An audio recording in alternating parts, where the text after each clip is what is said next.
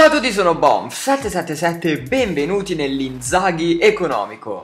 Prima di iniziare io però come sempre vi ricordo di mettere mi piace a questo video per avere altri giocatori economici, altre leggende economiche e vi ricordo di commentare qua sotto nei commenti scrivendo un'altra leggenda eh, di cui voi vorreste vedere la controparte economica.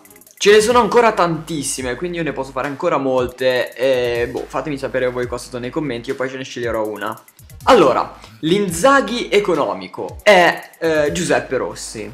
Ne ho scelto solo uno stavolta, ho scelto solo l'italiano perché mi sembrava abbastanza completo per essere un Inzaghi economico. Andiamo però a vedere le statistiche subito. Allora, eh, Inzaghi 85 di velocità, Rossi 84, quindi siamo lì. Inzaghi 76 di dribbling, Rossi 84, quindi addirittura più per i giocatori della Fiorentina. Il tiro anche qua molto simile, 82 contro 83 difesa pure, 31 contro 28, il passaggio invece a 49 per l'ex giocatore del Milan contro il 74 per uh, l'ex Villarreal, anche qui quindi c'è un po' di differenza, e per finire la fisicità è 55 di Inzaghi contro 52 di Rossi. Come potete vedere da queste statistiche eh, c'è molta somiglianza tra i due, sono quasi uguali, cambiano ovviamente qualcosa, qualche numero, però anche provandoli si può vedere che mm, sono simili, sì. Forse addirittura tra i due preferisco Rossi.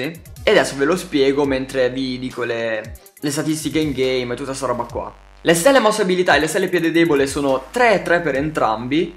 Però abbiamo che eh, Rossi è mancino, Inzaghi invece destro.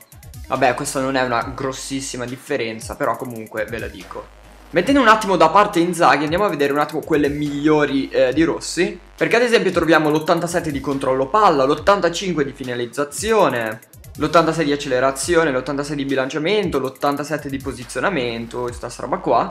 Invece in Inzaghi troviamo il 94 di finalizzazione che eh, in qualche modo era alto, anche in Rossi era 85 Abbiamo la precisione di testa, cosa che Rossi non ha, c'è addirittura 20 di differenza, l'83 di Inzaghi contro 63 di Rossi. Abbiamo il long shot a favore del giocatore della Fiorentina, qua di 20 pure qui, sì. L'82 contro 61, perché proprio Inzaghi con long shot non si è mai visto. Pure per i colpi al volo siamo là, 88 contro 83.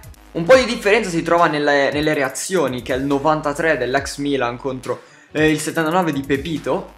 Però se andiamo a vedere le statistiche in game possiamo vedere che Inzaghi ha 1728 Che per una leggenda è poco, sì, sì sì è poco. Invece Rossi ha 1904, quasi 200 in più eh, solo in statistiche in game. Ed è tanto, è tanto, è tanto. Rossi è assolutamente una punta più completa, un attaccante più completo Invece eh, Inzaghi proprio una punta d'area di rigore uno di quelli che ti servono proprio da finalizzatore e basta. Ecco perché all'inizio ho detto che tra i due preferisco Rossi, anche se nella realtà Inzaghi è uno dei miei calciatori preferiti di sempre. Il prezzo di Inzaghi invece sta tra i 120.000 e i 190.000 crediti, quello di Rossi invece tra i 150 e i 5.000 crediti. E allora, adesso state vedendo i miei pro, i miei contro e il mio voto finale sulla carta. Io vi ricordo ancora di commentare qua sotto scrivendo un'altra leggenda eh, di cui voi vorreste vedere la controparte economica io vi ricordo che sempre provo a cercare sia la versione eh, della stessa nazionalità che non della stessa nazionalità, solo che stavolta mi sembrava eh, già preciso darne uno solo perché, perché può fare tutti e due, può fare entrambi. Se il video ti è piaciuto metti mi piace, iscriviti al mio canale e commenta da Bomb777 è tutto. Ciao a tutti!